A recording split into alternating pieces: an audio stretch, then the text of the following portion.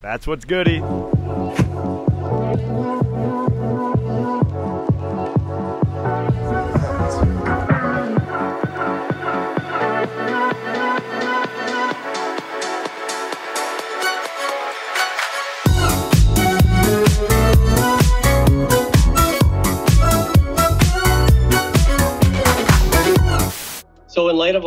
Premier Ponds is the 2023 Digital Influencer of the Year. What do you think about Dude, that? I'm, I'm ecstatic.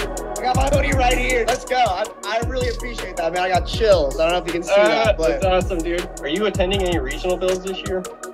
no, I'd love to. Me and uh, Kevin, Big Country, he's hardcore about the water features and the artistry. But looking into maybe just going out of pocket for the Pittsburgh one. Totally come out to the Pittsburgh one. I'll be out there at, at Tanner Serpa's, and then um, we're actually going to have the a Pondemonium watch party out there. Yes. Talk to your boss, man. Tell him. I got you. I got you. Be like, hey, man, I got to go out to this build. We I have to. Yeah, yeah, that'd be awesome, man.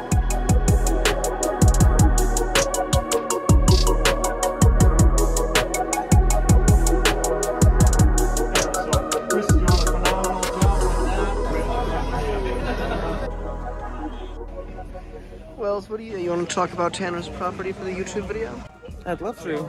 Bang the camera up. Shout out Tanner Serpa. We're in beautiful Pittsburgh, Pennsylvania. He's got a beautiful property in the, here in the woods. We're building him a beautiful rec pond. Ed Beaulieu, the king of water features. Uh, he's right over there drinking a brewski. He's one of the boys. And uh, we're building we're building a pond with him. He's spearheading it. 25 years in the industry. He knows what's goody. We trust Ed. Ed has a, a bit more construction experience than we do. Take a look at the rock behind you. We've never set a border like that in one of our ponds. Um, but yeah, we're here to learn. We're here to be what's goody, and we're uh, here to be premier as always. Big Country, anything you want to add to that on this regional build, your first Oh, are we of many? No, for the YouTube video. Uh, I mean, the fun really starts tomorrow, so just here to. Well, the fun seems to have started right now. fun's been all day. Maybe we ought to get out of town more often. We'll see. Hopefully, everybody's on their best behavior. Just met Ed, first impressions. Oh man, probably spend easily hours talking to Ed. Excited to work side by side with him and a few of these other guys. Tim Wood, excited to work with him. But it looks great so far. But yeah, tomorrow, Yes, it's good. 8 a.m. Let's do it. Over to Wells. What's good, to Premier family? So excited to be here today. I'm a bit taken away by these massive boulders in here, actually. Extremely jealous. Getting a whole lot of FOMO. Could only dream of such beautiful projects. But here at Premier, we will bring our own Premier energy to this build. What I'm most excited for is the, the, the wetlands. I love the wetlands. Sometimes I am. So you know when you start, are you, you're mentioning that because of water chemistry and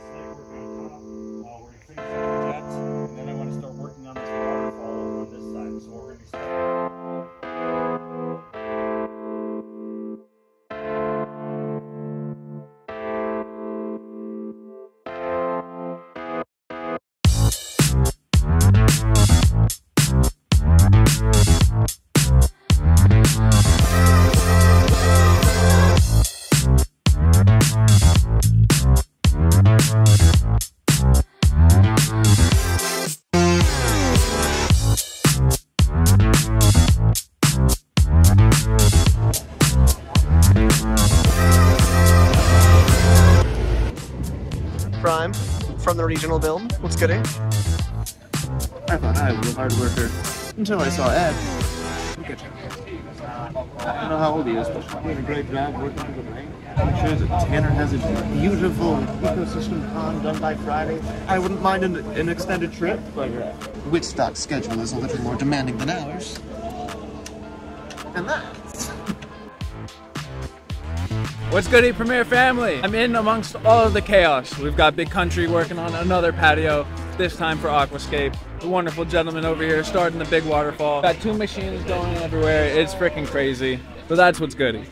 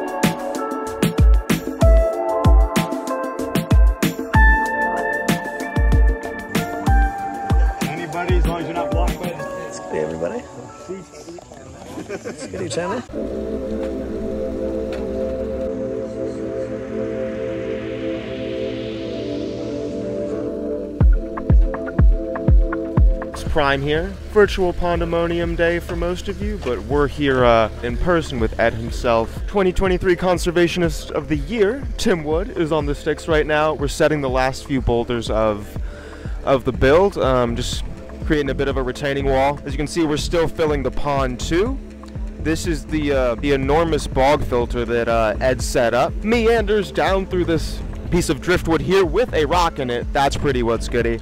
A few cascades, another beautiful cascade, and then down into the pond. Lots of beautiful big rocks, lots of beautiful moss, lots of driftwood incorporated into the pond.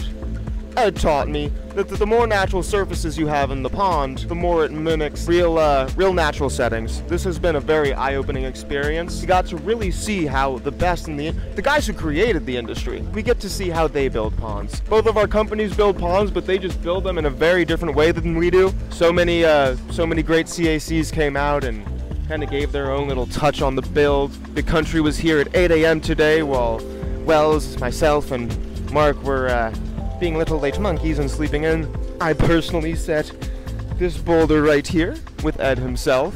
That big one over there that uh, Bill Seeds is standing on, I also placed with Ed. So I personally had a great experience learning how to set some big, uh, some big boulders and how to manipulate them into the right place. Shout out Aquascape for throwing this beautiful event. Shout out Ed Beaulieu. Shout out Muscles for winning Digital Influencer of the Year award. That's what's goody. Hope to be at another regional build event soon. Stay premier. Oh, we got whoa! Let it flow, let it flow. Yeah.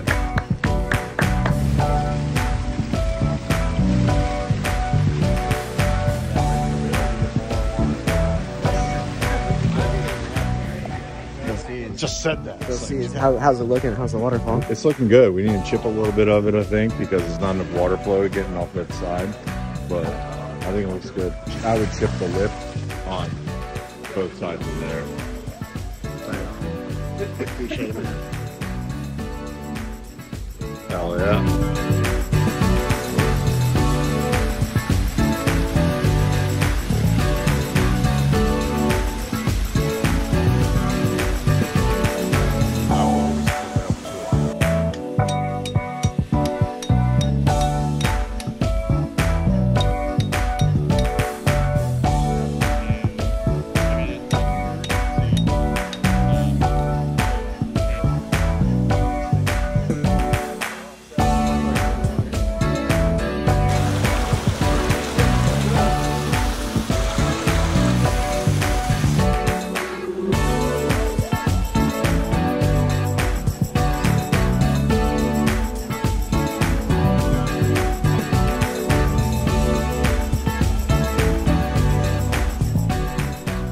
Right, everybody, it's big country. I'm super tired. I'm soaked.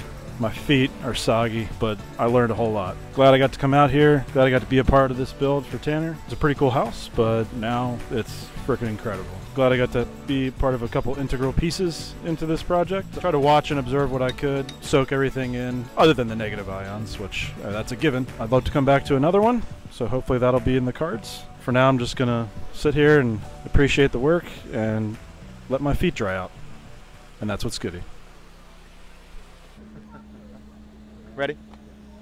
I'm here with the legendary Ed Beaulieu. We just finished up uh, Tanner Serpa's new ecosystem rec pond. Ed, you're the the man who introduced the term idea negative ions to us. We've become almost obsessed with it. Taking all the negative ions. Soaked in the negative ions. Bathing in these negative ions. Negative ions are just washing all over me. Can you just kind of re-outline for our fans what that's all about? Absolutely, yeah, I'd love to. I appreciate it, guys. Thanks for coming out. It's been a blast working with you. First of all, you know, always enjoy watching your content, following your energy and everything. It's been a blast. So, so keep up the phenomenal work. It's an honor for me to be talking to you about this because it is definitely something that I'm very passionate about. I believe if you back in, go back into humanity, look at every major city throughout the world. It is founded along a lake, river, stream, or coastline. So I believe there's something inside of us It's hardwired in our DNA to be by water, and it's because it's a source of food, it's a source of relaxation, it's a source of transportation. We seek it out, but do we seek out the water or is it the negative ions? Is it the energy that is given off? And if we look at the biology of us, our bodies are 70, 75% water. The same compounds that are in our blood, the same micronutrients and all those different compounds and elements are the exact same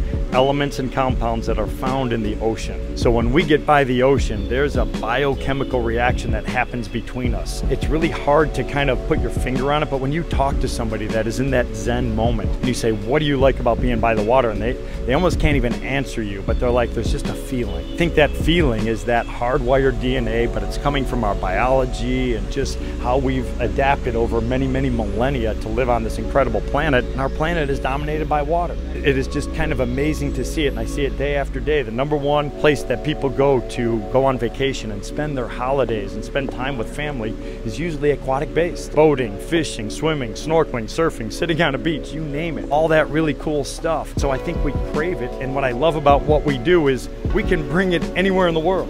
If we have rock, if we have gravel, if we have the raw materials that we need, we could recreate an aquatic environment in any place on the planet and we can completely transform a property and we'll bring it to life because as soon as you put in a little body of water, everything is going to come to you. Beautiful, Thank you. Thank you so much. Awesome. Just one more question. Yep maybe a newer CAC might not have access to three machines like this right. or a quarry with stones this large. What are some small tips you would give to uh, maybe just a smaller scale production to make their artistry and their ecosystems more of a natural ecosystem? So, so what I would say, you know, what, what I love about what we do, I've talked about the concept of fractals before, expanding geometries. So you see these patterns in nature. You could blow something out and make it massive or you can do it small. I could take these same exact rocks and shrink them down to a fraction of their size and we could still utilize them. You're basically just taking it and you're just shrinking it. The concepts actually are exactly the same. For a new CAC or a new contractor or even a DIY person who's trying to get their hands dirty and wet with doing something like this, it's just kind of get comfortable playing around with stuff. Ideally, you would start with like a uh, like a fountain basin or something like that, just so you understand the pumping and how water flows over things. The other thing that I would say is go out into nature, and I've seen you guys doing that before. Go out into nature, go hike up and down some rivers and creeks, go to your favorite, you know, coastline, whatever it happens to be, and try to imagine little pieces of it. The challenge is it becomes overwhelming. When you're standing on a coastline, and, you know, miles of shoreline going in all directions, it's like, well, how, how do I do this? Like you're focusing too big. Look at this one section, one little section. What's there? Okay, there's a there's three rocks, a wooden stump, and there's a little trickle of water. That's all you got to do. But keep it really, really, really simple. And then once you get a little bit more comfortable, then you start adding in some more complexity and start playing around with stuff. Do it in your backyard before you do it for a customer always. If you don't like it, you can take it apart and redo it. You could learn along the way and you could you could learn a lot really, really fast. Uh, thanks so much, Ed. Shout out to the whole Aquascape team. It truly is an honor to watch you do something this incredible in just two and a half days. I guess last thing is, can you say that's what's goody for our fans? Absolutely. that's what's goody.